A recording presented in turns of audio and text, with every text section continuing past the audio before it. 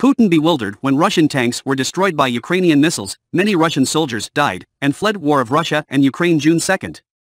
Vladimir Putin was blushed because another tank column was destroyed by the Ukrainian army using the Stugna deadly anti-tank missile system. The video showed as Russian forces advanced deeper into Ukraine territory to the east of the war-ravaged country. According to the Ukrainian report, more than 1,300 Russian tanks were destroyed in the war, the latest incident being another insult to Moscow. Anti-tank guided missiles, ATGMs, are large, tripod-mounted weapons or mounted on vehicles capable of destroying thick armored main battle tanks from a distance of more than a mile. These weapon systems created a powerful attack and easily destroyed aging Russian tanks.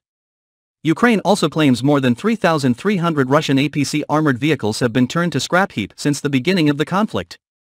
The Kiev army has received thousands of anti-tank guided missiles from a number of countries, of which the British Javelin system is a prime example. However, yesterday's video showed that Ukraine is using a self-grown ATGM called Stugna A Russian tank convoy was destroyed after the Ukrainian Stugna P attack. The Russian army suffered immense casualties when nearly 20 tanks and armored vehicles were destroyed. More than 40 Russian soldiers were killed and a few more fled while still alive. This was a devastating blow to the morale of Putin and the Russian leadership. When the morale of the Russian soldiers was on the brink of the abyss, they were in decline and they continued to see their comrades die and flee.